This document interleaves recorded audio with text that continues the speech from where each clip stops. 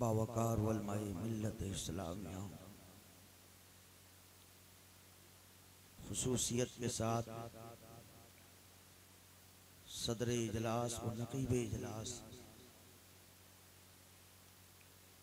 और दिगर अरबाब मेंबर मुआज़ सामने कराम।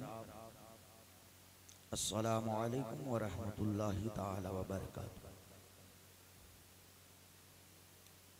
जिसको जाना है वो अभी चला जाए अगर तकरीर के दौरान कोई गया तो बिस्तर पे नींद नहीं आएगी उसको। बता दे रहे हैं। कोई नहीं जाएगा। खामोशी से बैठकर समात करें। अब ये वक्त नहीं है तकरीर की जाए। जलसों का जो है, आजकल लोगों ने मज़ाक बना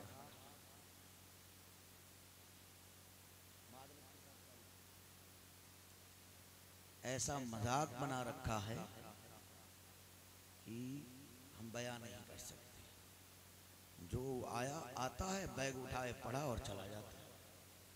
आया, बैग उठाया, रखा, पढ़ा, चला गया। क्या तरीका है?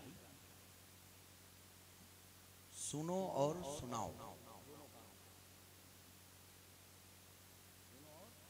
सुनाओ। आया, पढ़ा, चला गया जैसे लगता है कि अड्डे का मजदूर आता है, काम करता है, चला जाता वैसे काम किया, चला गया। तरीका गलत बहरे हाथ।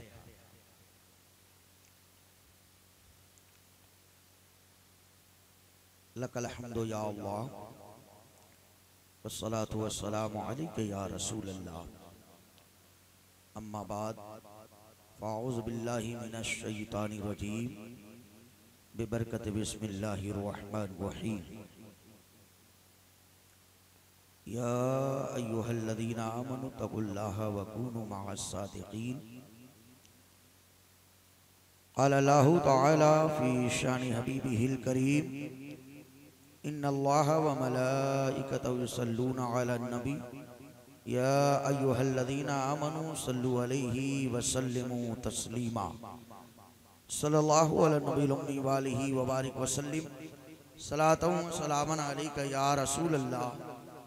सलातम सलामन या हबीब अल्लाह सल्लल्लाहु अलैहि वसल्लम। मंबर पे मुअज्जज उलमा तशरीफ़ फरमा हैं, आप इनके चेहरे की जियारत करें और कुछ देर तक मुझे बर्दाश्त करें। इंशाल्लाह कुछ ऐसी बातें नसीहत आमेज में बता के जाऊँगा, अगर आपने अमल कर लिया तो ज़िंदगी भी संवरेगी और आखिरत भी संवर जाएगी।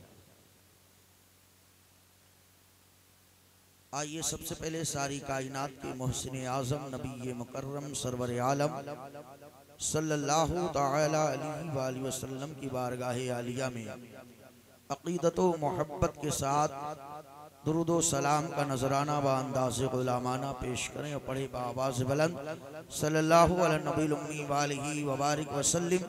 सलातम सलामन अलैका या रसूल अल्लाह सलातम सलामन अलैका या हबीब अल्लाह सल्लल्लाहु अलैहि वसल्लम। आकाई नेमत दरियाए रहमत, कंजुल करामत, जबलुल इस्तिकामत। हुजूर सैयदी सरकार आला हज़रत फाजिल बरेलवी रदी अल्लाह तालान बारगाह गौसियत में यूँ खराज अकीदत पेश की है। वाह, क्या मर्तबा। ए गौस, है बाला तीरा। वाह, क्या मर्तबा। ए गौस है बाला तेरा। ऊँचे ऊंचों के सरों से है कदम आला तेरा। ऊँचे ऊंचों के सरों से है कदम आला तेरा। और सर भला कोई क्या जाने की है कैसा तेरा। सर सर भला कोई क्या जाने की है कैसा तेरा। औलिया मलते हैं आँखें, वो है तलवा तेरा। और क्या दबे जिस पर हो हिमायत का पंजा तेरा। क्या दबे जिस पर हो हिमायत का पंजा तेरा। शेर को खतरे में लाता नहीं कुत्ता तेरा। शेर को खतरे में लाता नहीं कुत्ता तेरा। और कस्में दे दे के खिलाता है, पिलाता है तुझे। कस्में दे दे के खिलाता है, पिलाता है तुझे। प्यारा अल्लाह तेरा, चाहने वाला तेरा। और सारे अक्ताब जहाँ करते हैं काबे का तवाफ। सारे अक्ताब जहाँ करते हैं काबे का तवाफ। काबा करता है तवाफ दरे वाला तेरा। अजीजा ने मिल्लत इस्लामिया, बड़े पीर दस्तगीर रोशन ज़मीर हुजूर सैदना शेख अब्दुल कादिर जीलानी बगदादी रदी अल्लाह तआला की बारगाह में हम और आप खराज अकीदत पेश करने के लिए हाजिर आए हैं। अल्लाह इज़्ज़त हम सबको, अल्लाह रब्बुल इज़्ज़त हम सब की हाजिरी को अपनी बारगाह में शर्फ कबूलियत का दर्जा अता फरमाए। वो बड़े पीर जिसकी बारगाह में हम खराज अकीदत पेश करने के लिए आए हैं। वो फरमाते हैं फ़ैलम यकुन मुरीदी जयदन फ़ाना जयद अगर मेरा मुरीद बेहतर नहीं है तो क्या हुआ? अगर मेरा मुरीद उम्दा नहीं है तो क्या हुआ? अगर मेरा मुरीद नेकोकार नहीं है तो क्या हुआ? फ़ाना जयद मैं तो बेहतर हूँ, मैं तो उम्दा हूँ, मैं तो नेकोकार हूँ। जब तक अपने एक एक गुलामों को बख्शवा ना लूँगा, उस वक्त तक जन्नत में कदम नहीं रखूँगा। आगे फरमाते हैं, यदि अला मुरीदी कसमाई अर्द, मेरा हाथ मेरे मुरीदों पर ऐसा है, जैसा कि आसमान का साया ज़मीन पर है। अजीजान मिल्लत इस्लामिया, बड़े पीर आए नहीं हैं, लेकिन आने की धूम मची हुई है। बड़े पीर आए नहीं हैं, लेकिन आने की खबरें दी जा रही हैं। बड़े पीर आए नहीं हैं, आने की बशारतें दी जा रही हैं। बड़े पीर आएँगे 470 साल के बाद। लेकिन 470 साल पहले जो है, बड़े पीर के आने की खबरें दी जा रही हैं। अजीदान मिल्लत इस्लामिया, जब हम उस शाके कराम के फहरिस्त को खोलते हैं तो उन उस शाके कराम में से एक आशिक का नाम आता है, जिसको दुनिया हज़रत वैसे करनी कहा करती है। ये वो हज़रत वैसे करनी है, जो मेरे नबी से बेपना मोहब्बत किया करते थे। मेरे नबी को जो है बेपना चाहा करते थे। मेरे नबी से बेपना उनसियत रखते थे। ये वो हज़रत वैसे करनी है, जिनसे मेरे नबी बेपना मोहब्बत करते थे। जब भी मदीने के ताजदार मदीने की सरजमीन पर खड़ा होता था और चेहरा यमन के तरफ़ होता था तो फरमाता था, मुझको यमन से मुझको अंबर की खुशबू आ रही है। सहाबा अर्ज़ करते थे, या रसूल अल्लाह आप खड़े हैं मदीने में, और खुशबू, आप खड़े हैं मदीने में, और यमन की खुशबू की बात कर रहे हैं। तो आकाई कौनैन फरमाते हैं, ऐ मेरे मुकद्दस सहाबियों, सुनो सुनो, यमन की सरजमीन पर एक मेरा आशिक रहता है, एक मेरा दीवाना रहता है, एक मेरा मस्ताना रहता है, जिसको दुनिया पागल तो कहती है, लेकिन वो पागल नहीं है, वो अहमद मुख्तार का दीवाना है, मदीने वाले आका का दीवाना है।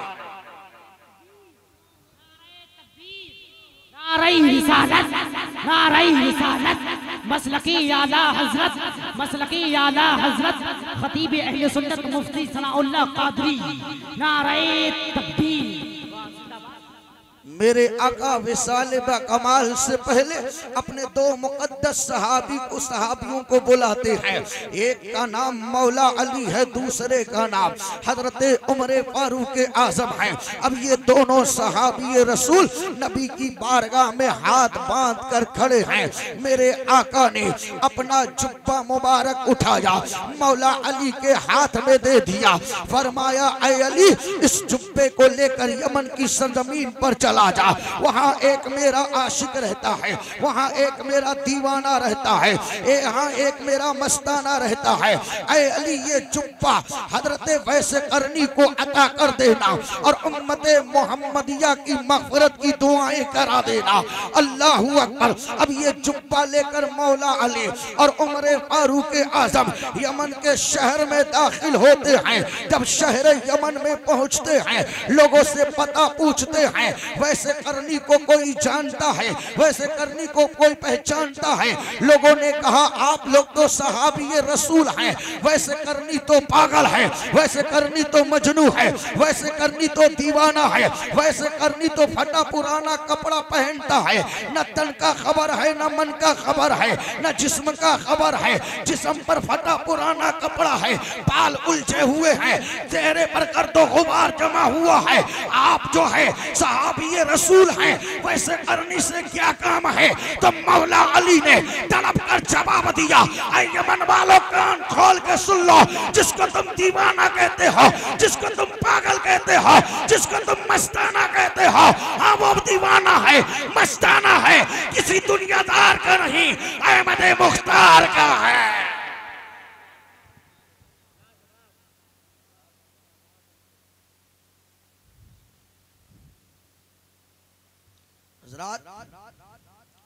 लोगों ने कहा, अगर वैसे करनी से मिलना चाहते हैं तो आप फुला जंगल में चले जाए। अजीदाने मिल्लत इस्लामिया, लेकिन वैसे करनी उस जात का नाम है, जिन्होंने कभी नमाज़ नहीं छोड़ी है सुबह अल्लाह ये वैसे करनी है, जब यमन की गलियों में चला करते थे, शहर यमन में चला करते थे तो यमन के बच्चे जो है, हज़रत वैसे करनी को डेले मारा करते थे, पत्थरे मारा करते थे। हज़रत वैसे करनी के जिस्म पर जख्म बन जाता था। हज़रत वैसे करनी बच्चों से कहते थे अरे बच्चों सुनो सुनो। डेले मारो गवारा है, पत्थर मारो गवारा है, लेकिन पत्थर छोटे छोटे मारो, ताकि वैसे करनी के जिसम पर जख्म ना हो और नमाज़ मेरी कजा ना हो। हज़रत हज़रत मौला अली उस चुप्पे को लेते हैं और उस जंगल में पहुँचते हैं। जिस जंगल में हज़रत वैसे करनी ऊँट चुगा रहे थे, जैसे ही मौला अली पहुँचे, हज़रत मौला अली ने उस जुब्बे को लिया और हज़रत वैसे करनी को अता कर दिया। हज़रत वैसे करनी ने उस चुप्पे को लिया। मौला अली की बारगाह में अर्ज़ किया, सरकार, आगे फरमाइए, नबी ने क्या फरमाया है? सुबह अल्लाह हज़रत मौला अली ने फरमाया कि आप इस चुप्पे को जेबे तन करें, या सामने रख कर उम्मत मोहम्मदिया की मगफरत की दुआएँ हज़रत वैसे करनी उस जुब्बे को लेकर एक पहाड़ की खो में पहुँचते हैं। जुब्बे को सामने रखते हैं, सर को सजदे में रखते हैं और अल्लाह रब्बुल इज़्ज़त की बारगाह में उम्मत मोहम्मदिया की मगफरत की दुआएँ कर रहे हैं। उम्मत मोहम्मदिया की मगफरत की दुआएँ कर रहे हैं। इधर मौला अली और हज़रत उमर फारूक आज़म इस इंतज़ार में है कि हज़रत वैसे करनी निकल कर आए, हज़रत वैसे करनी निकल कर आए। लेकिन जब चार पाँच घंटे का वक्त गुजर गया, हज़रत मौला अली आगे बढ़े, पहाड़ की खो में दाखिल हुए। जैसे कदमों की आहट हज़रत वैसे करनी की कानों में पहुँचती है, हज़रत वैसे करनी ने सर को सजदे से उठाया और उठाने के बाद फरमाया, अरे मौला अली, आपने आने में जल्दी कर दी, वरना आज मैं पूरी उम्मत मोहम्मदिया की मगफरत कराकर सर को सजदे से उठाता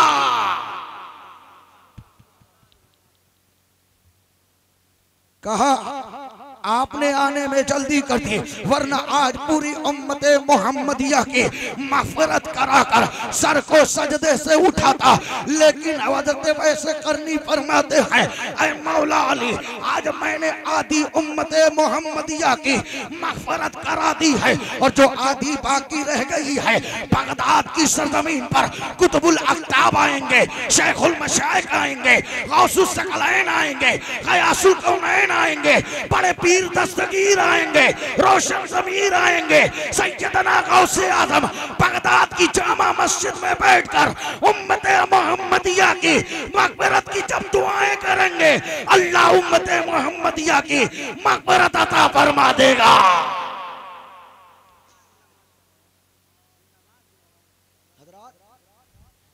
बड़े पीर आए नहीं हैं। लेकिन धूम मची। बोलो सुबह अल्लाह आए नहीं हैं। धूम मची है। आएँगे 200 साल के बाद, लेकिन हज़रत जुनेद बगदादी खबर दे रहे हैं। आने वाला एक नबी का लाडला है। आने वाला एक नबी का सच्चा जानशीन है। आने वाला एक नबी का बेटा है, जिसको दुनिया गौ से आज़म कहेगी। अतीजा ने मिल्लत इस्लामिया, यही गौ से आज़म। 470 हिजरी में इस रूए ज़मीन पर तशरीफ़ लेकर आते हैं। जब 470 हिजरी में सैयदना गौसे आज़म इस रूए ज़मीन पर तशरीफ़ लेकर आते हैं, जब गौसे पाक की उम्र पाक छह साल की होती है तो बाप का साया सर से उठ जाता। है बाप का साया सर से उठ गया। सैयदना गौसे आसम नाना की किफालत में है, नाना की सरपरस्ती में है। हज़रत सैदना गौसे आदम की परवरिश उनके नाना जान हज़रत अब्दुल्ला सुमई फरमा रहे हैं। ये वो हज़रत अब्दुल्ला सुमई हैं, जिनकी विलायत की शोहरत पूरे जिलान की सरजमीन पर गूंज रही थी। अजीजा ने मिल्लत इस्लामिया, जब तारीख उठाओगे तो सैयदना अब्दुल कादिर जिलानी बगदादी रदी अल्लाह के नाना जान के तो वो ऐसे मिलेंगे कि जैसे जो है, अपनी करामतों की बुनियाद पर, अपने मुरीदों की मदद की है और अपनी खानकाह में बैठकर हज़ारों किलोमीटर दूर अपने मुरीदों की रहनुमाई फरमाई है। उनकी सरपरस्ती में बड़े पीर जलवाबार हैं। उनकी सरपरस्ती में बड़े पीर जो है ज़िंदगी गुजार रहे हैं। जवानी की दहलीज पर कदम रख रहे हैं। उसी जिलान की सरजमीन पर एक बेवा औरत है, जिसका शहवर दुनिया से जा चुका है। आप जानते हैं, वो जिसके जो है सर से शहवर का साया उठ जाए, वो औरत बेवा हो जाती है। फिर समाज में वो सर उठाकर जो है सर उठाकर मुकम्मल तरीके से ज़िंदगी नहीं गुजार सकती है। लेकिन उस बेवा की गोद में एक छह महीने का बच्चा है। उस बेवा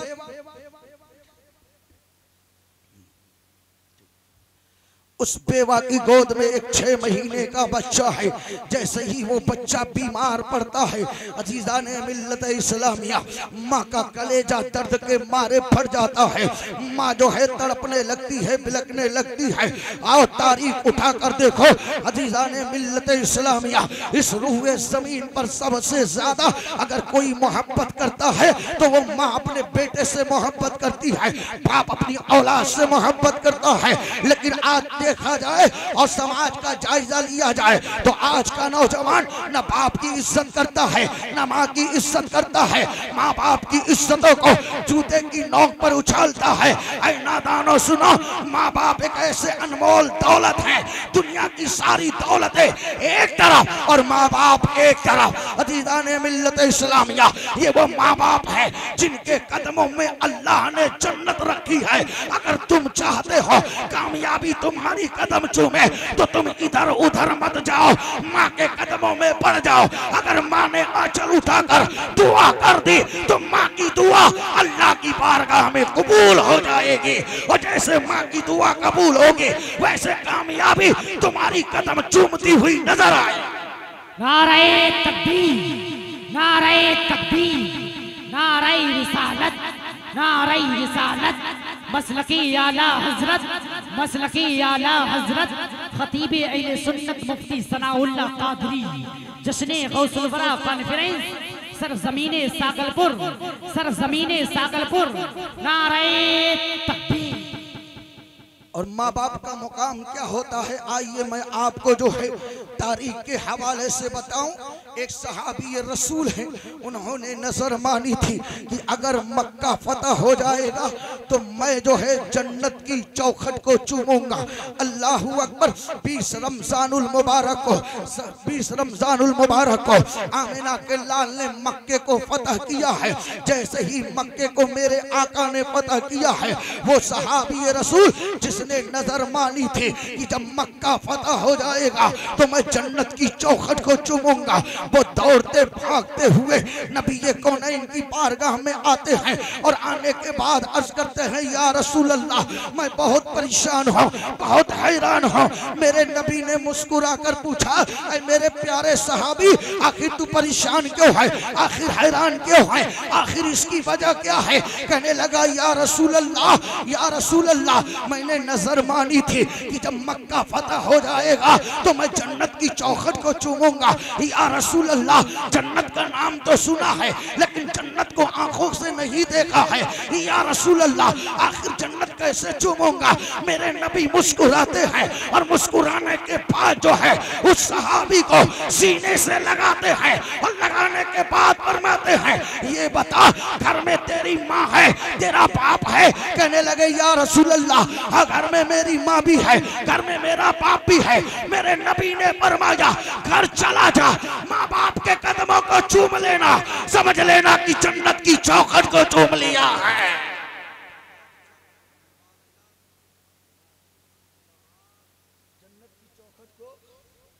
चूम लिया है। एक और सहाबी रसूल वही खड़े थे। कहने लगे, या रसूल अल्लाह जिस माँ दुनिया में न, जिसका बाप दुनिया में न, आप उससे पूछें जिसकी माँ इस दुनिया में न, वो बताएगा माँ का मुकाम क्या होता है। वो बताएगा बाप का मुकाम क्या होता है। अरे मेरे प्यारे सुनो, माँ वो चीज़ है, अगर सीने से एक बार अपने बेटे को लगा ले तो कसम खुदा की बेटे की पूरी परेशानियाँ दूर हो जाती है। माँ बाप वो अनमोल दौलत है। अगर वो हैं और ज़िंदा हैं तो उनकी इज़्ज़त करो, उनकी ताजीम करो। हम और आप जो है, अपने पीरों के हाथ तो खूब चूमते हैं, अपने पीरों के पैर तो खूब चूमते हैं। लेकिन याद रखो, क्या तुमने कभी अपने माँ के हाथ को चूमा है? माँ के कदमों को चूमा है? ऐ मेरे प्यारे, सुनो, वो खानकाह में बैठा हुआ पीर उसी वक्त तुमसे राज़ी होगा, जब घर के अंदर तुम्हारी माँ तुमसे राज़ी होगी। दूसरे सहाबी रसूल वहीं पर खड़े हैं, कहने लगे, या रसूल अल्लाह जिसकी माँ दुनिया में ना हो, जिसका बाप दुनिया में ना हो, वो क्या करे? मेरे नबी ने फरमाया जिसके माँ बाप दुनिया में नहीं हैं, वो कब्रिस्तान चला जाए और माँ की कब्र के पाईती तरफ़ चूम ले। समझ लेना कि जन्नत की चौखट को चूम लिया है। वहीं पर एक और साहबी रसूल खड़े थे, कहने लगे, या रसूल अल्लाह जिसको ये भी मालूम न हो, मेरी माँ की कब्र कहाँ है? मेरे बाप की कब्र कहाँ है? वो क्या करे? तो मेरे नबी ने फरमाया, ज़मीन पर एक लकीर खींचे और उस लकीर को अपनी माँ की कबर तस्वुर करे और उसकी पाईती तरफ़ चूम ले। समझ लेना कि जन्नत की चौखट को चूम लिया।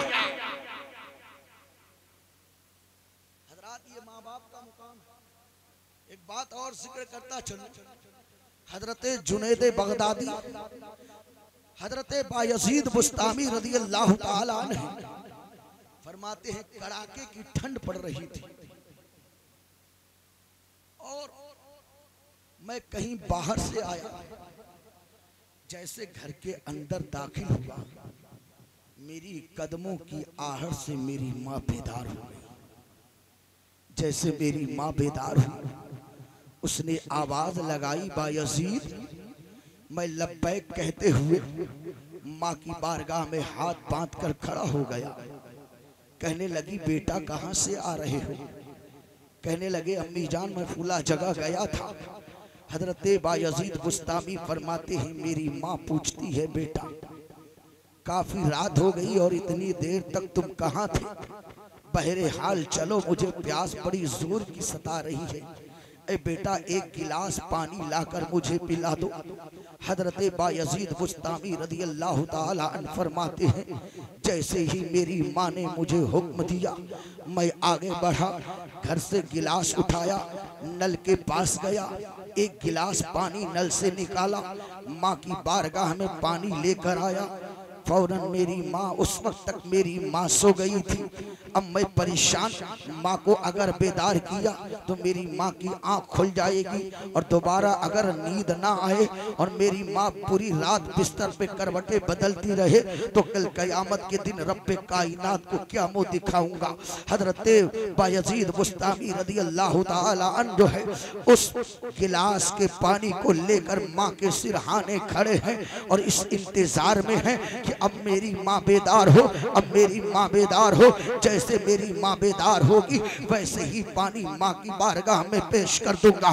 अजीजा ने मिल्लत इस्लामिया, हज़रत बायजीद मुस्तामी फरमाते हैं, एक घंटा वक्त गुजरा, दो घंटा गुजरा, तीन घंटा गुजरा, और सर्द मौसम इतना सर्द था, कड़ाके की ठंड पड़ रही थी, और इतनी शदीद ठंड पड़ रही थी कि मेरे पैर सूज गए, और सूजने के बाद जो है, मेरे पैर जो है कई जगह से फट गए और जब फटे तो उनसे खून निकलने लगा।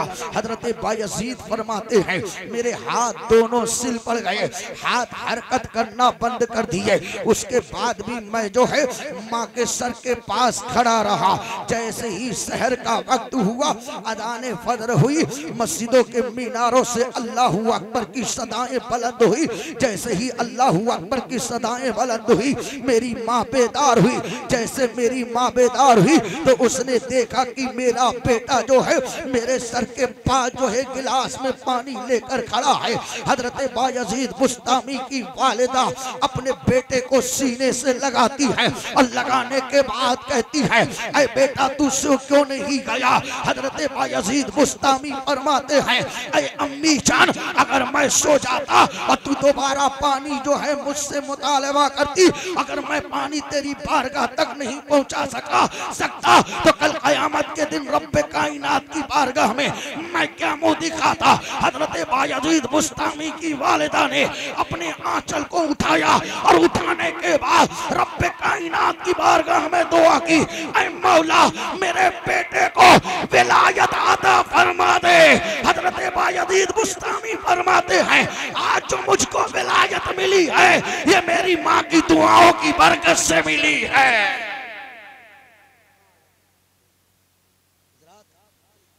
ये माँ बाप का मुकाम है। माँ बाप की इज़्ज़त करो उनका एहतराम नमाजों की पाबंदी करो। तो अर्ज़ में ये कर रहा था, वो औरत अपने खानदान के आखिरी चश्मो, चिराग को लेकर जिलान की सरजमीन पर एक के बाद तीसरे डॉक्टरों, हकीमों और तबीबों के पास जाती रही। जिस डॉक्टर के पास गई, उस डॉक्टर ने नब्ज पकड़ा। नब्ज पकड़ने के बाद कहा, ऐसा है, तुम्हारा बेटा चंद दिन का मेहमान है।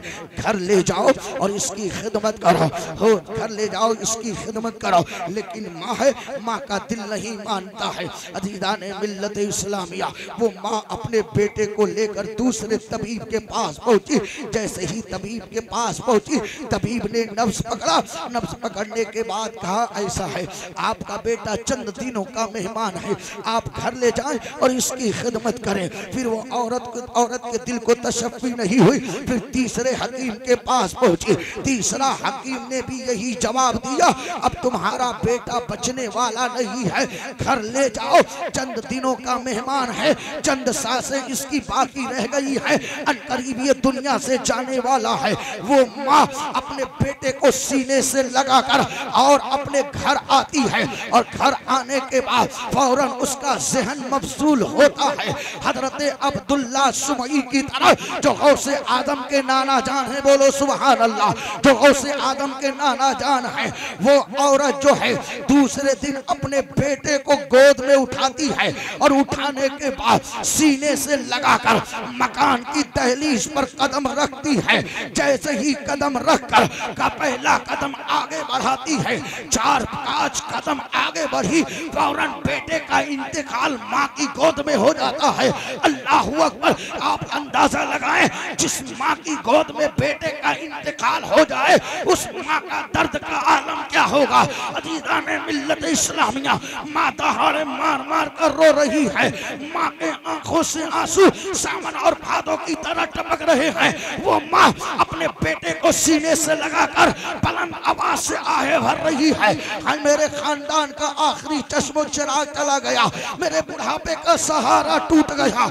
अल्लाह अकबर। लेकिन अब भी उस औरत के दिल में एक जो है तमन्ना अंगड़ाई ले रही थी। और वो तमन्ना ये थी कि जो है हज़रत अब्दुल्ला सुमई, जो गौसे आज़म के नाना जान हैं, अगर निगाहें करम डाल देंगे तो मेरा बेटा ज़िंदा हो जाएगा।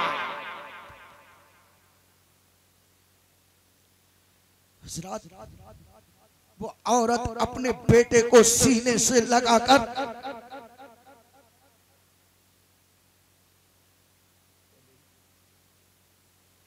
वो औरत अपने बेटे को सीने से लगाकर। जैसे ही अब्दुल्ला सुमई की खानकाह में पहुँची हज़रत अब्दुल्ला सुमई अपनी खानकाह में जलवा पा हैं माँ हज़रत अब्दुल्ला सुमई अपनी खानकाह में जलवा रहे। हैं माँ हज़रत अब्दुल्ला सुमई के पास अपने बेटे की लाश को लेकर पहुँची और पहुँचने के बाद कहने लगी, हाथ जोड़कर, सरकार बड़ी जो है आरज़ू के साथ आई हो, बड़ी तमन्नाएँ लेकर आई हो, खाली दामन लेकर आई हो। ये बच्चा जो आप देख रहे हैं, ये मेरे खानदान का आखिरी चश्मो चिराग है, ये मेरे बुढ़ापे का सहारा है, मेरा शहवर दुनिया से जा चुका है। अब जो है, इसी बेटे का सहारा है, आप निगाहें कर्म डाल देंगे तो हो सकता है कि मेरा बेटा ज़िंदा हो जाए। हज़रत अब्दुल्ला सुमई फरमाते हैं, ऐ बेटी, थोड़ी देर ठहर जा, जरा मैं लहवे महफूज का मुताला कर लो। आखिर देखो तेरे बेटी की ज़िंदगी बाकी है कि नहीं है? क्या तेरे बेटे की ज़िंदगी खत्म हो गई है? हज़रत अब्दुल्ला सुमई ने आँखें बंद की, लहवे महफूज का मुताला किया। और लहवे महफूज का मुताला करने के बाद आँख खोलते हैं और खोलने के बाद कहते हैं, अरे बेटी, तेरे बेटे की जितनी ज़िंदगी थी, वो अपनी ज़िंदगी जू चुक जी चुका है। अब ये दोबारा ज़िंदा नहीं हो सकता है। जैसे ही वो सुनती है, दहाड़े मार मार कर रोने लगती है और जो है, कभी दामन चाक करती है, कभी सर जो है ज़मीन पर मारती है, कभी जो है दामन को चाक करती है, कभी माता पीटती है, कभी सीना कूटती है, रोने की आवाज़ हज़रत गौसे आज़म की कान में पहुँचती है। बोलो बोलो सुबहान अल्लाह जैसे ही उस औरत के रोने की आवाज़ हज़रत गौसे आदम के कान में पहुँचती है, गौसे आदम की उम्र पाक कितने साल? छह साल। कितने साल के हैं गौसे आदम?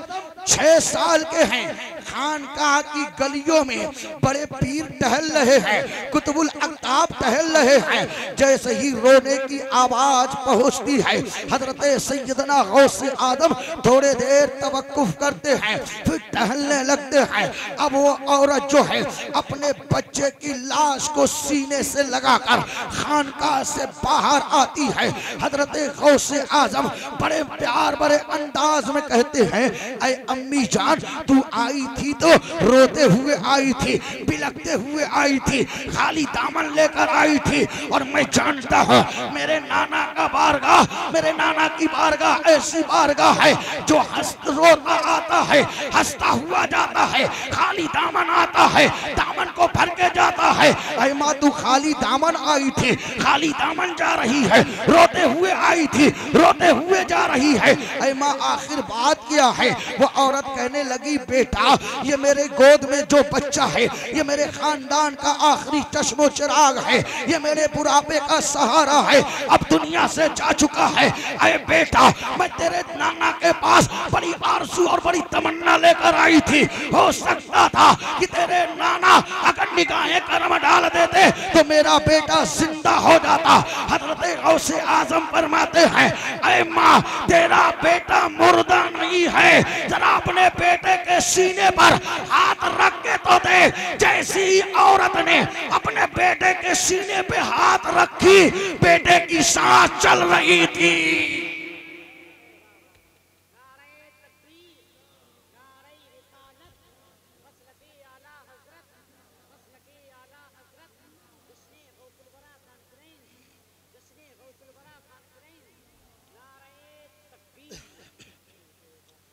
गौसे आज़म ने एक निगाह डाली, बेटा ज़िंदा हो गया। जैसे ही वो बेटा ज़िंदा हुआ, औरत खिलखिला के हंसने लगी। वो औरत जो रोते हुए आई थी, उसके चेहरे पर खुशियों की लहर दौड़ गई। हज़रत अब्दुल्ला सुमई अपनी खानकाह में बैठकर ये सारी चीज़ें मुलाहिजा फरमा रहे थे। हज़रत अब्दुल्ला सुमई असा लेकर खानकाह से बाहर आते हैं और फरमाते हैं अब्दुल कादिर रुक जा तूने हकीकत से पर्दे को उठाया है। रुक जा, अभी मैं तेरी खबर लेता हूँ। हज़रत अब्दुल्ला सुमई अपने नवासे को दौड़ा रहे हैं। आगे आगे नवासा दौड़ रहा है। पीछे पीछे नाना दौड़ रहा है। आगे आगे नवासा, पीछे पीछे नाना। आगे आगे नवासा, पीछे पीछे नाना। हज़रत गौसे आज़म एक कब्रिस्तान में जाकर दाखिल होते हैं और दाखिल होने के बाद फरमाते हैं कब्रिस्तान के मुर्दों अपनी कब्र से उठकर मेरी हिफाजत करो। उस कब्रिस्तान से 360 मुर्दे अपनी कब्रों से उठकर खड़े हो गए। गौसे आज़म के लिए दीवारें आईनी बन गए। हज़रत अब्दुल्ला सुमई ने देखा तो देखने के बाद फरमाया, ये मेरा बेटा अब्दुल कादिर आगे चलकर वलियों का ताजदार बनेगा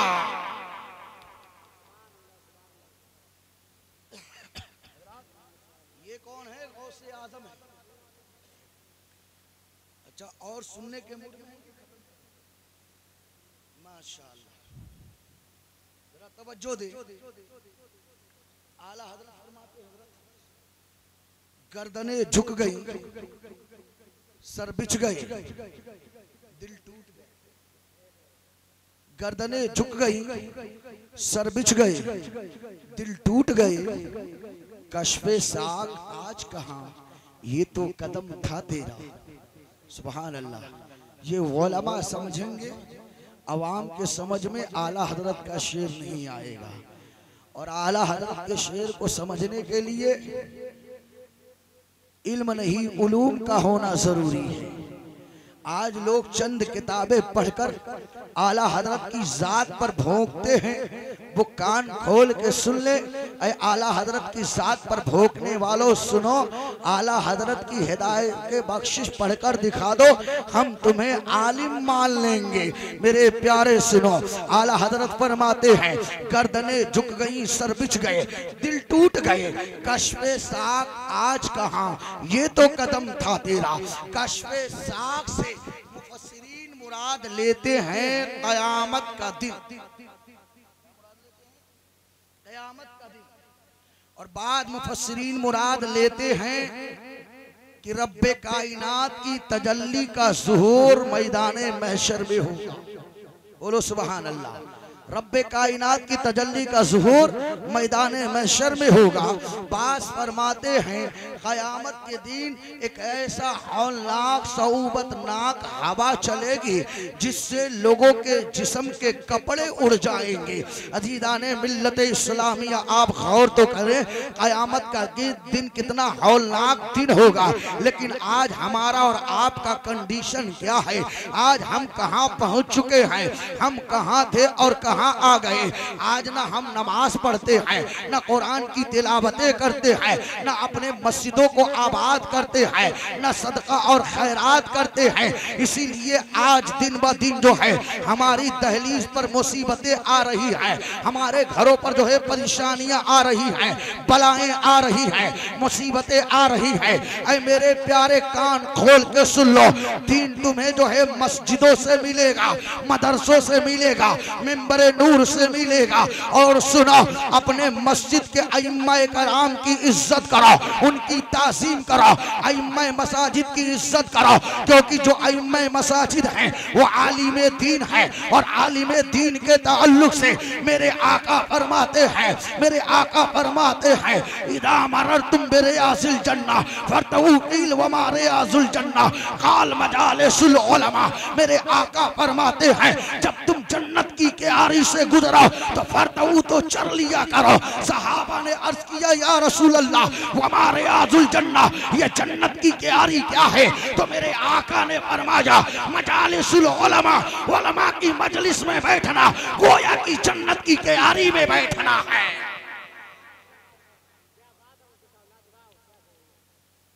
की मजलिस में बैठना, गोया की जन्नत की क्यारी में बैठना है। हजरात मैंने ये सुना है, जैसे आप कपड़े बदलते हैं, वैसे इमाम भी बदलते हैं। ऐसा ही है कुछ मसला। ऐसा ही है ना? तो कान खोल के सुनो वलमा का मकाम क्या है? आजकल कुछ जाहिल अनपढ़ गवार समझते हैं कि मस्जिद का इमाम मेरा गुलाम है। मस्जिद का इमाम तेरे बाप का गुलाम नहीं है। मस्जिद का इमाम जो है, वो रसूल पाक का गुलाम है। किसी के बाप का गुलाम नहीं है और मस्जिद किसी की बाप की जागीर नहीं है। चाहे वो मुतवल्ली हो, चाहे वो नाजिम हो, चाहे वो सदर हो, चाहे वो सेक्रेटरी हो, वो किसी की बाप की जागीर नहीं है मस्जिद। कान खोल के सुने, मैं हक बोलता हूँ और हक बोलने में जर्रा बराबर भी नहीं डरता हूँ, क्योंकि हक हमेशा सर चढ़कर बोलता है, ये ओलमा ये फुजला, ये हुफाज, ये कुर्रा, ये वो लोग हैं जिनसे दीन ज़िंदा है। जिनसे दीन ज़िंदा है, लेकिन मस्जिद का मुतवल्ली, ये जाहिल कबार अनपढ़ आता है और इमाम पर रोब दिखाता इमाम को कहता, मस्जिद में झाड़ू नहीं लगी, आज सब टेढ़ी है, यहाँ कूड़ा है, वहाँ कूड़ा है, टंक में पानी नहीं है, मोटर नहीं चलाया वो सिर्फ़ नमाज़ पढ़ाने के लिए है। मस्जिद में झाड़ू लगाने के लिए नहीं है। सब बिछाने के लिए नहीं है। पानी भरने के लिए नहीं है। जिसके सहन में ये बातें हो, वो अपने सहन से बातें निकाल दे। ये ऐसे आलिम दीन है। अगर तुमने इनकी इज़्ज़त कर ली तो कल कयामत के दिन जब ये जन्नत में जाएँगे तो साथ साथ तुम्हें भी जन्नत में ले जाएँगे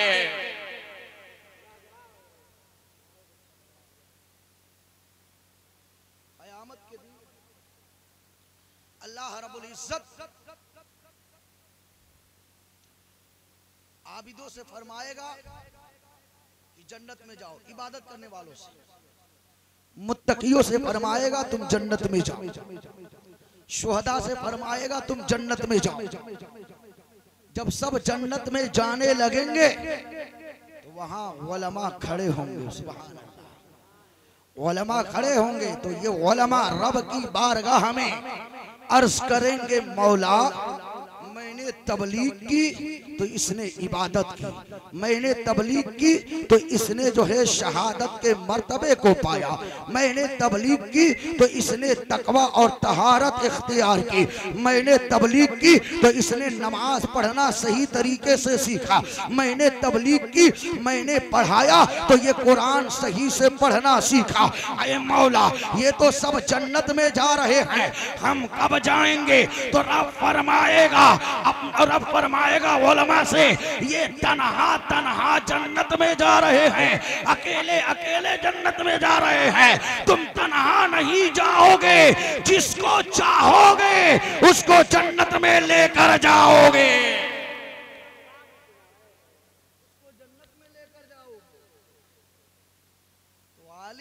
तो पहले खुश करो, खुश रखो। है ना उस पर हुक्म मत जताओ बल्कि तुम उसके हुक्म के ताबे बन के रहो। आलिम दीन का बहुत बड़ा मुकाम होता है। आजकल तो खड़े हो जाते हैं, लठ लेके, मेरे बाप ने मस्जिद बनवाई है, मेरे दादा ने बनवाई है मेरे दादा ने ज़मीन दी थी, मेरे बाप ने ज़मीन दी थी। अरे तेरे बाप ने ज़मीन दी, या तेरे दादा ने ज़मीन दी तो कौन सा इतना बड़ा एहसान कर दिया? उसने अपने लिए किया है, किसी दूसरे के लिए नहीं किया है। ऐ मेरे प्यारे सुनो, अगर कोई ऐसा जताए तो उसका बाइकाट करो, उसको जो है समाज से बाइकाट करो, और अपने मस्जिद के इमाम की इज़्ज़त करो, उसका अदब एहतराम करो, उसकी ज़रूरियात का ख्याल रखो। आलिम दीन से ये इस्लाम ज़िंदा है, दीन ज़िंदा है। जिस दिन ये आलिम दीन नहीं होंगे, ये दीन ज़िंदा नहीं रहे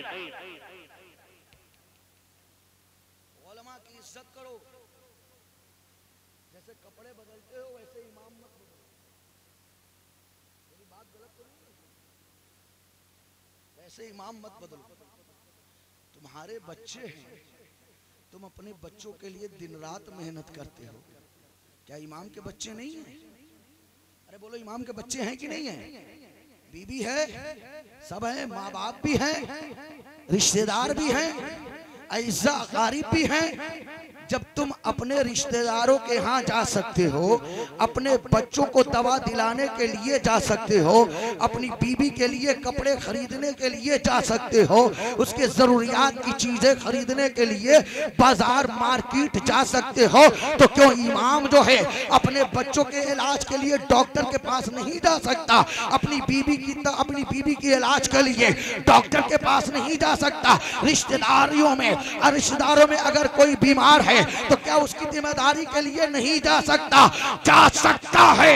जब वो जाए तो उसको जाने दो। क्योंकि जिस तरीके से तुम्हारे रिश्तेदार हैं, उसी तरीके से इमाम के भी रिश्तेदार हैं।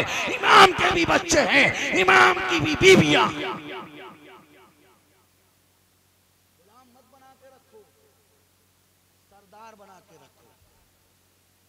क्या बना के रखो? सरदार बना के रखो। और मस्जिद का इमाम बादशाह होता है।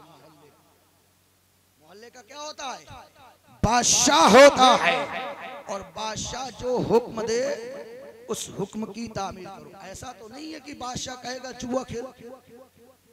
कहेगा नहीं कहेगा ना मस्जिद का इमाम कभी जुआ खेलने के लिए नहीं कह सकता, कभी चोरी करने के लिए हुक्म नहीं दे सकता, कभी झूठ बोलने के लिए हुक्म नहीं दे सकता। मस्जिद का इमाम जो होता है, वो जुए पर भी पाबंदी लगाता है, चोरी पर भी पाबंदी लगाता है, गीबत पर भी पाबंदी लगाता है, सट्टे पर भी पाबंदी लगाता है, शराब नौशी पर भी पाबंदी लगाता है। अपने इमाम की बात मानो, अगर तुमने आज मान ली तो कब्र में भी आसानी हो जाएगी और हशर के मैदान में तुम्हारे हाथ में जन्नत का टिकट होगा। इमाम की इज़्ज़त करो, तोहीन करने की कोशिश मत करो। समझे? मसला सुनो, मसला। मसला ये है, अगर किसी ने आलिम दीन को इसलिए बुरा भला कहा कि वो आलिम है, उसके पास इल्म है। तो वो ईमान से खारिज हो जाएगा। ईमान से खारिज हो जाएगा। और किसी ने बुगजो इनात की बुनियाद पर इमाम को बुरा भला कहा तो ये हराम है, हराम। क्या ये हराम है? अपने इमाम की इज़्ज़त करो, मेरे प्यारे, सुनो आजकल का मामला क्या है मुक्तदी कहता है क्या मैं नहीं पढ़ता उनके पीछे नमाज़ मैं नहीं पढ़ता। मैं नहीं पढ़ता। अरे तू नहीं पढ़ता है तो क्या हुआ? वो तेरे मोहताज है।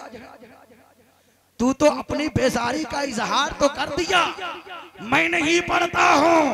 मेरी मेरी नमाज़ उनके पीछे नहीं होगी। ये भी मसला सुन ले, कान खोल के। इमाम ने अगर नियत कर ली बोला शख्स मेरे पीछे नमाज़ पढ़ता है, उसकी नमाज़ नहीं होगी तो वो लाख सजदे करता रहे इमाम के पीछे। उसकी नमाज़ नहीं होगी उसकी भी नमाज़ नहीं होगी समझे ये मसले सुना करो, सिर्फ़ नाते मत सुना करो। नाते भी सुना करो, मैं ये नहीं कहता कि नाते पाक मत सुना करो। नाते पाक सुना करो। और नाते पाक जब सुनो तो नियत ये रहे कि हम सरकार की सुन्नत अदा कर रहे हैं। ये नियत न रहे, हम मज़े के तौर पे जो है नाते पाक सुन रहे, नोट उड़ा रहे हैं। चल रही है। खूब चल लिया धड़ा धड़ा धड़ा धड़ा ये तरीका है। अरे बताओ ये तरीका है। नहीं ना फिर क्यों करते हो ऐसा काम जिससे दीन बदनाम हो, जिससे इस्लाम बदनाम हो, वलमा बदनाम हो? ना सिर्फ़ उतना सुना करो, जितना जो है, सुनने का तुम्हें हुक्म दिया गया है। ज़्यादातर तकरीरें सुना करो, वादो नसीहत की बातें सुना करो।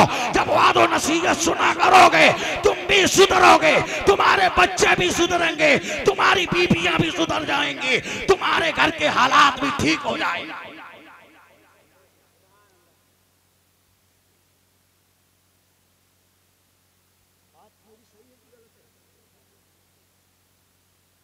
और मैं जो बयान करके जा रहा हूँ इस पे अमल करने की कोशिश करना। है ना? और अपने इमाम साहब की इज़्ज़त करना। इज़्ज़त करना, उनकी खैरियत हमेशा पूछते रहना। उनकी जो है जरूरियात है उस चीज़ का ख्याल रखना। है ना? सिर्फ़ तनख्वाह पे गुजारा नहीं। तुम्हारे घर का खर्चा बीस हज़ार में चलता है। क्या इमाम के घर का खर्चा पाँच हज़ार में चल जाएगा? इंसाफ से बताना, एकदम दिल पे हाथ रख के। चल जाएगा। नहीं चलेगा ना। चलो ठीक है, तुम पाँच हज़ार तनख्वाह देते हो, दो। देते रहो, लेकिन जुमे में सौ रुपए का मुसाफा भी कर लिया करो, ताकि इमाम की परेशानी दूर हो जाए, इमाम की मुसीबतें दूर हो जाए। इमाम जब खुशहाल रहेगा तो बस्ती के लोग भी खुशहाल रहेंगे तो अर्ज़ में ये कर रहा था कि मैदान कयामत में नफसी नफसी का आलम होगा। ना बाप बेटे का होगा, ना बेटा बाप का होगा।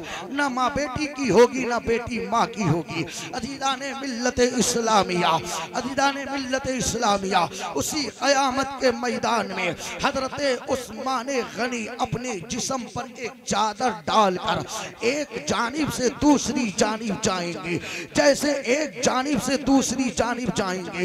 हज़रत उस्मान गनी की चादर से इतनी रोशनी निकलेगी कि अहले मैशर ये समझेंगे कि रब कायनात की तजल्ली का जहूर हो रहा है। तमाम के तमाम जो है, अपने सरों को सजदे में रख देंगे। बाद में पता ये चलेगा कि रब कायनात की तजल्ली का जहूर नहीं, ये तो उस्मान गनी की चादर की रोशनी है सुबह अल्लाह अब जहनो फ़िक्र को हासिल रखना। मैं जहाँ आपको लेकर चलना चाह रहा हूँ, बहुत तेज़ी से लेकर बढ़ रहा हूँ। बगदाद की जामा मस्जिद है, कुतुबुल अक्ताब है, शेखुल मशाइख है गौसुल सकलैन है, गयासुल कौनैन है, बड़े पीर दस्तगीर रोशन जमीर हैं, सैयदना गौसे आज़म ब्राह्मा मस्जिद में मेंबर नूर पे जलवाबार हैं, अल्लाह का, अल्लाह रब्बुल इज़्ज़त का हुक्म होता है, अल्लाह रब्बुल इज़्ज़त का हुक्म होता है, ऐ अब्दुल कादिर फरमाओ, कदमी हाद ही अला रकबते कुल्ले वलील्ला ये मेरा कदम तमाम औलिया कामलीन की गर्दनों पर है। जैसे गौसे आज़म ने फरमाया है, कदमी हाद ही अला रकबते, कुल्ले वलील्ला ये मेरा कदम तमाम औलिया कामलीन की गर्दनों पर है। तो गौसे आज़म के पैर के तलबे से एक नूर का टिकिया निकला। तीन सौ तेरह औलिया कामलीन ने ये समझा, आज कश्मे साख का दिन है, कयामत का दिन है। रब्बे कायनात की तजल्ली का जूर हो रहा है, लेकिन जो है तजल्ली का जूर हो रहा है। मुगालते के बिना पर तीन सौ तेरह कामलीन ने सर को सजदे में रखा। बाद में पता ये चला रब्बे कायनात की तजल्ली का जहूर नहीं, ये तो गौसे आज़म के पैर के तलबे का नूर है। तभी तो आला हज़रत पुकार उठे वाह क्या मर्तबा ऐ गौसे बाला तेरा, ऊँचे ऊंचों के सरों से है कदम आला तेरा सर भला कोई क्या जाने कि ये कैसा तेरा? औलिया मलते हैं आँखें वो है तलबा तेरा। नारई रिसालत नारई रिसालत मसलकी आला हज़रत मसलकी आला हज़रत जश्न गौसल बरा कॉन्फ्रेंस जश्न गौसल बरा कॉन्फ्रेंस सरजमीन सागलपुर तकबीर। ये कौन है? बड़े पीर हैं। अरे बोलो सुबहान अल्लाह बड़े पीर हैं। बड़े पीर की एक बात और सुने। फिर मैं अपनी गुफ्तगू को समेट रहा गौसे आज़म। माशाअल्लाह गौसे आज़म। अपने मुरीदों के साथ जलवाबार हैं। बोलो सुबहान अल्लाह अपने मुरीदों के साथ जलवाबार हैं। इतने में वो दाई आती है जिसने गौसे आज़म को बचपन में दूध पिलाया था। रजाई माँ, जैसे ही वो आती हैं, गौसे आदम ने देखा, आने वाली जो औरत है वो मेरी रजाई माँ है। गौसे आज़म उठकर खड़े हो गए सुबहान अल्लाह और जैसे उठकर खड़े हुए, फिर उनको बैठाते हैं। और बैठाने के बाद गौसे आज़म उनके चेहरे को बार बार देखते हैं सुबह अल्लाह गौसे आज़म उनके चेहरे के, चेहरे को बार बार देखते हैं। एक बात जहन नशी करें, माँ बाप के चेहरे को देखना भी इबादत है। मेरे आका ने फरमाया जिसने एक मर्तबा अपने माँ बाप को मोहब्बत की निगाह से देखा उसको एक हज मबरूर का सवाब मिलेगा। फिर एक और सहाबी रसूल थे कहने लगे या रसूल अल्लाह अगर किसी ने दो मर्तबा देखा तो? कहने लगे मेरे नबी ने फरमाया दो हज मबरूर का सवाब मिलेगा। फिर मेरे आ, कहने लगे या रसूल अल्लाह अगर तीन मरतबा देखा तो? तो कहने लगे मेरे नबी तीन हज मबरूर का सवाब मिलेगा। मेरे नबी ने फरमाया, अगर दिन में दस मरतबा अपने माँ बाप को मोहब्बत की निगाह से देखता है तो दस हज मबरूर का सवाब मिलेगा। अल्लाह अकबर, ये गौ से आज़म है, अपनी रजाई माँ को बैठाए हुए हैं, चेहरे की जियारत कर रहे हैं।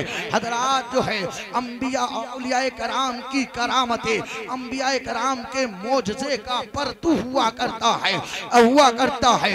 आओ जरा मक्के की तारीख को पलटते हैं। जब मक्के की तारीख को जब हम पलटते हैं तो एक औरत का नाम आता है, जिसका नाम जो है अरशे मुअल्ला पर भी गूंज रहा था, और फरशे जमी पर भी गूंज रहा था। वो कोई और औरत नहीं है, जिसको हलीमा सादिया कहा जाता है। ये वो हज़रत हलीमा सादिया है, जिन्होंने मेरे नबी को बचपन में दूध पिलाया था। ये वो हलीमा सादिया है, जो खुद फरमाती हैं कि मैंने जो है, जब अपने आका को अपनी गोद में उठाया है तो मेरे घर से परेशानियाँ दूर हो गई सुबह अल्लाह ये वो हलीमा सादिया है, जब मेरे नबी की बारगाह में आती हैं, मेरे नबी सहाबे कराम के झुरमुट में जलवा बार हैं। जैसे हलीमा सादिया आती हैं, मेरे नबी उठकर खड़े हो गए सुबह अल्लाह सहाबा भी खड़े हो गए, और मेरे नबी ने अपनी चादर ज़मीन पर बिछा? ज़मीन पर मेरे नबी ने अपनी चादर बिछा दी और बिछाने के बाद हज़रत हलीमा सादिया को बैठा दिया। और सामने मेरे नबी बैठ गए। हलीमा सादिया के चेहरे को बार बार देख रहे हैं। पता ये चला माँ के चेहरे को देखना नबी की सुन्नत है। तो मेरे प्यारे, जब भी माँ बाप सामने आए तो मुस्कुरा कर उन्हें देख लिया करो। तुम एक हज मबरूर का सबाब भी मिल जाएगा। माँ बाप का दिल भी मचल जाएगा और तुम्हारे लिए जो है माँ बाप के दिल से दुआएँ भी निकल जाएँगी। अजीदा ने मिलत इस्लामिया मेरे नबी जो है, हज़रत हलीमा सादिया के सामने बैठे हैं। जब तक हलीमा सादिया बैठी रही, मेरे नबी बैठे रहे, मेरे नबी बैठे रहे। जैसे हलीमा सादिया सादिया उठती हैं। मेरे नबी उठ गए। हलीमा सादिया चलने लगी। मेरे नबी पीछे पीछे चलने लगे। कुछ देर तक मेरे नबी ने कुछ दूर तक जो है, मेरे नबी ने हलीमा सादिया को छोड़ा और छोड़ने के बाद जो है, फिर मेरे नबी अपनी जगह पर आ गए। अजीजा ने मिल्लत इस्लामिया पहले हाल जो मैं अर्ज़ ये कर रहा था, हज़रत गौसे आदम के दरबार में, वो दाई है जिन्होंने दूध पिलाया था बचपन में। गौसे आदम के दरबार दरबार में हाजिर हैं। कहने लगी, बेटा अब्दुल कादिर, वो कमाल एक बार और दिखा दो, वो करामत एक बार और दिखा दो। हज़रत गौसे आज़म कहते हैं, अम्मी जान, वो कौन सी करामत है? हज़रत गौसे आज़म फरमाते अम्मी जान, वो कौन सी करामत है? वो दाई कहने लगी, बेटा अब्दुल कादिर, जब मैं तुझको दूध पिलाती थी तो तू मेरी गोद में होता था और गोद से छलाक लगाता था, सूरज में चला जाता था। 啊。啊 गोद से छलांग लगाता था, सूरज में चला जाता था। अजीदान मिल्लत इस्लामिया, जरा गौर तो करें, गोद से छलांग लगाए गौ से आज़म तो सूरज में जाकर समा जाए। अजीदान मिल्लत इस्लामिया, आज कुछ लोग चाँद पर जाते हैं, जा रहे हैं तो इतरा रहे हैं। चाँद पर मकान खरीद, ज़मीन खरीद कर मकान बना रहे हैं तो इतरा रहे हैं। गौ से आदम को मालूम था, अगर मैं चाँद पर गया तो लोग कहेंगे कि गौ से आदम ने कौन सा इतना बड़ा कमाल कर दिया? इसीलिए गौ से आदम ने सूरज में जाकर दिखाया और दुनिया वालों को बता दिया, अरे दुनिया वालों, सुनो, तुम चाँद पर तो जा सकते हो, ज़मीन खरीद कर मकान बना सकते हो, लेकिन सूरज में तुम में से कोई नहीं जा सकता। अगर जा सकता है तो नबी का लाडला अब्दुल कादिर जा सकता है।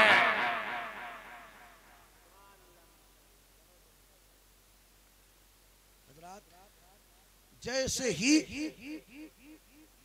मेरे गौ से आज़म फरमाते हैं, अम्मी जान, अब वो मैं करके नहीं दिखा सकता। कहने लगी, बेटा, उस वक्त तो तू बचपने के आलम में था।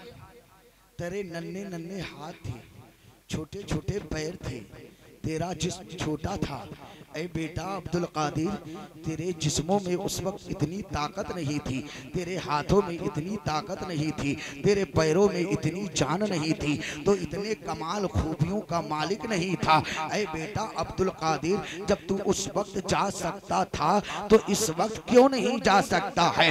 हज़रत गौसे आदम जवाब देते हैं, फरमाते हैं ए अम्मी जान सुनो, सूरज के अंदर अब वो इतना ताव नहीं जो अब्दुल कादिर की गर्मी को बर्दाश्त कर सके। अरे अम्मी जान, ये एक सूरज है। जैसे दस सूरज अब्दुल कादिर के अंदर समा सकते हैं। ये है गौसे आज़म। बोलो सुबहान अल्लाह ये है गौसे आज़म। आला हज़रत फरमाते हैं, हुक्म नाफिज तेरा, खामा तेरा, सैफ तेरी, दम में जो चाहे करे, दौर है शाह तेरा, हुक्म नाफिज तेरा, खामा तेरा, सैफ तेरी, दम में जो चाहे करे, दौर है शाह तेरा। अजीजा ने मिल्लत इस्लामिया, गौसे आज़म ने हुक्म फरमाया, फ़ौरन वो चीज़ वजूद में आ गई। एक मरतबा गौसे आज़म छत के नीचे बैठकर किताब तस्नीफ फरमा रहे थे। छत के ऊपर चूहा कूद रहा था। गौसे आज़म ने फरमाया, मुझे डर लगता है। कहीं ऐसा ना हो सूरज, कहीं ऐसा ना हो चूहा दो हिस्सों में तकसीम होकर ज़मीन पर गिर जाए। गौसे आदम का इतना फरमाना था, चूहा दो हिस्सों में तकसीम होकर ज़मीन पर गिर गया। अदीदा ने मिल्लत इस्लामिया, आला हज़रत फरमाते हैं, खामा तेरे अब्दुल कादिर तेरे हाथ में अल्लाह रब्बुल इज़्ज़त ने वो कलम दी है जिससे तू अपने गुलामों की किस्मतें बनाता है और बिगाड़ता है।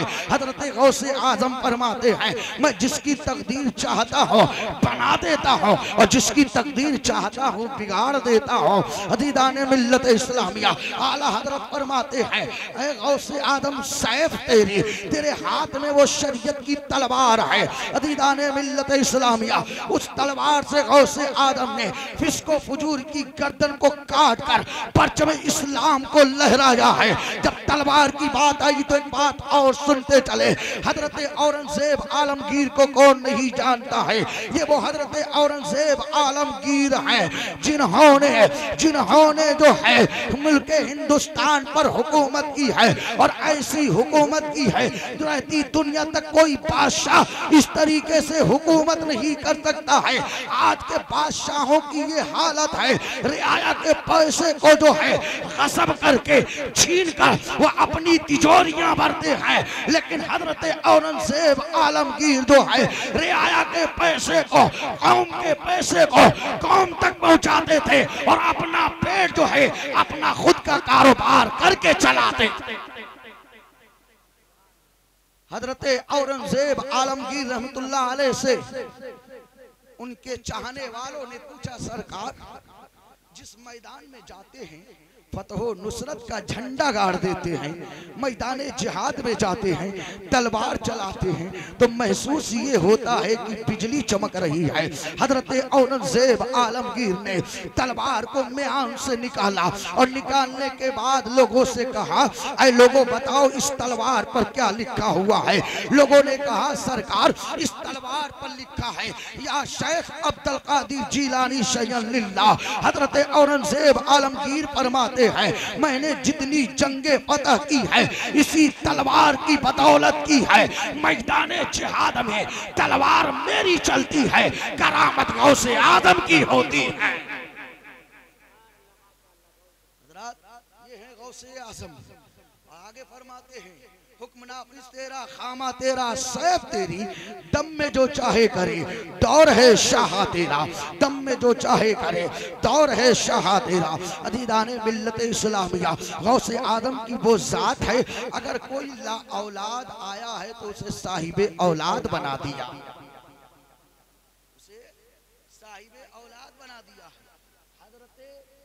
इबनुल अरबी, जिनको बहरुल गुलूम कहा जाता था। इल्म का समुंदर। हज़रत इबनुल अरबी, उनके शादी के 20 साल गुजर गए थे। कितने साल? 20 साल गुजर गए थे। कोई औलाद नहीं हो रही थी।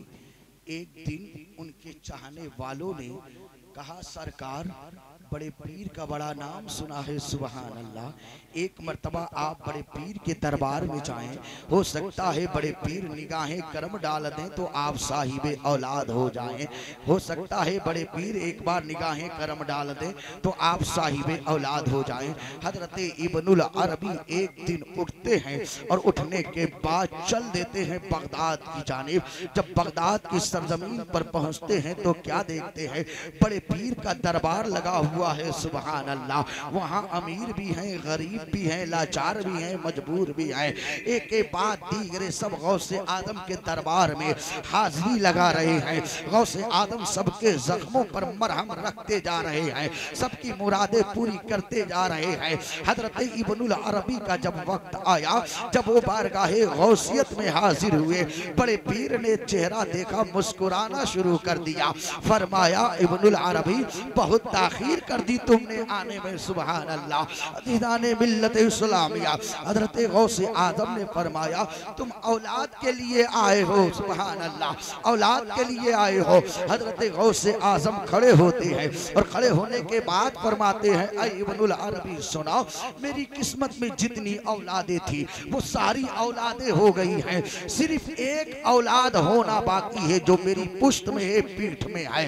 ऐसा करो इब्नुल अरबी, तुम अपना कुर्ता निकालो, मैं अपना जुब्बा निकालता हूँ। तुम अपनी पीठ मेरी पीठ से ऐसे मस करो, जैसे ही गौसे आज़म ने जुब्बा निकाला, इब्नुल अरबी ने कुर्ता निकाला, गौसे आज़म ने फरमाया, अपनी पीठ मेरी पीठ से ऐसे मस करो, जैसे मस किया है। हज़रत गौसे आज़म फरमाते हैं इब्नुल, जा, मैंने तुझको अपनी आखिरी औलाद तुझे अता कर दी है। हज़रत इब्नुल अरबी फरमाते हैं, मैं घर आया। मेरी बीबी हामिला हुई और अय्याम हमल गुजरे। मेरे यहाँ एक बेटे की पैदाइश हुई। मैंने उसका नाम मोहुद्दीन रखा। इस वाक़े की तर्जुमानी बरेली का इमाम फरमा, फरमाता है हुक्म नाफिज तेरा खामा तेरा सैब तेरी दम में जो चाहे करे दौर है शाह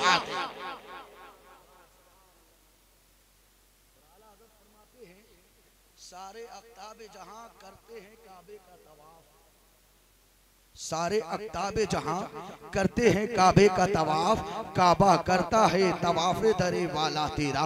अजीदा ने बिल्लत इस्लामिया इसमें से कौन नहीं चाहता है कि खाने काबा की जियारत हो जाए? जिस भी जिस भी, भी शख्स से पूछा जाए, ये बताओ तुम्हारी आखिरी ख्वाहिश क्या है?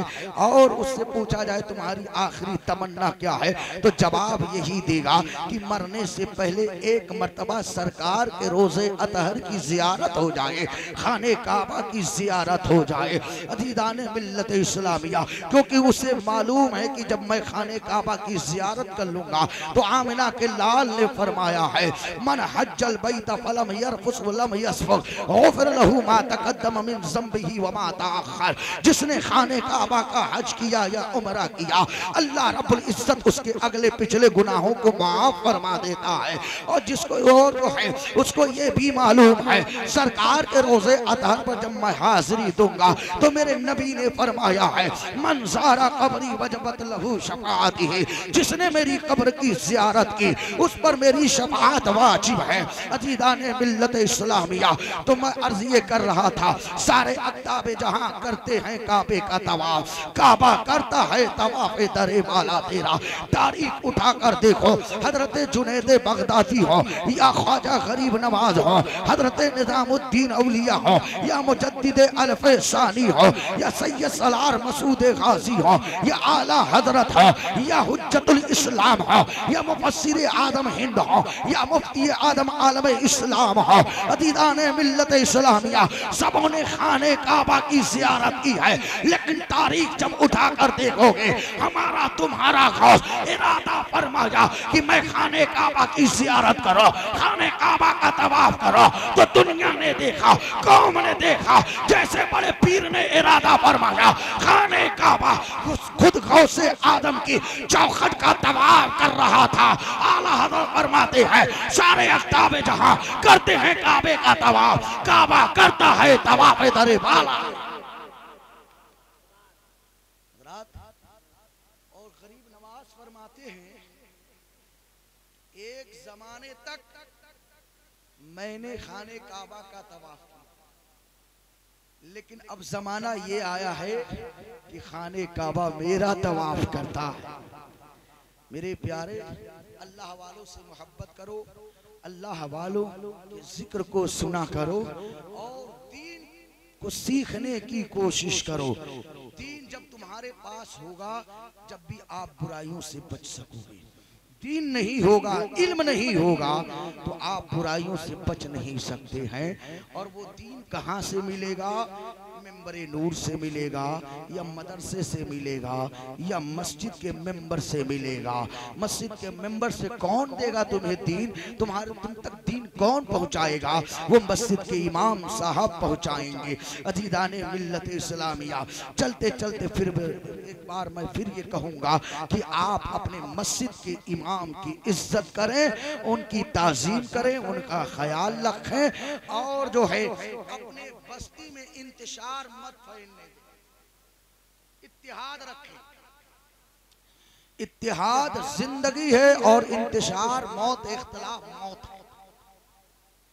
जब मुत्तहिद बन के रहोगे, एक बन के रहोगे तो तुम्हें कोई हिला डुला नहीं सकता है। और जब तुम बिखर जाओगे तो तुम्हें कांच की तरह तोड़ दिया जाएगा, दीवारों की तरह तुम्हें जो है ढा दिया जाएगा। तो मेरे प्यारे सुनो, अपने जाती अख्तलाफात को भुलाकर और अपने आप, जाती अख्तलाफात को भुलाकर और जो है मोहब्बत का पैगाम एक दूसरे को दो और एक दूसरे से लो और एक दूसरे से मिलजुल कर रहो। किसी से कोई दुश्मनी नहीं, कोई बैर मत रखो। क्योंकि ज़िंदगी का कोई भरोसा भरोसा नहीं है। कब किसको कहा, किस वक्त मौत आ जाए, कोई नहीं जानता है। आप देखते हैं सोशल मीडिया पर कि लोग कूदते हैं, उसी वक्त मौत आ जाती है। लोग नाचते हैं, मौत आ जाती है। लोग जो है, कुर्सी पर बैठे रहते हैं, मौत आ जाती है। मेरे प्यारे सुनो, जब इस दुनिया से जाओ तो ऐसा करके जाओ कि तुम्हारा जनाजा आगे आगे चले और पीछे से तुम्हारे मोहल्ले वाले तुम्हारी तारीफ़ करते हुए चले कि जाने वाला बड़ा नेक था, जाने वाला बड़ा अच्छा था, जाने वाला नमाजी था, जाने वाला शमो सलाद का पाबंद था। लिहाजा जब जाओ तो लोग तुम्हारे कसीदे पढ़े, तुम्हारी तारीफ़ करें, तुम्हारी जो है मदहोसना करें। इस हाल में जाओ, रब राज़ी हो रब तुम, रब जो है तुमसे राज़ी हो और तुम रब से राज़ी हो।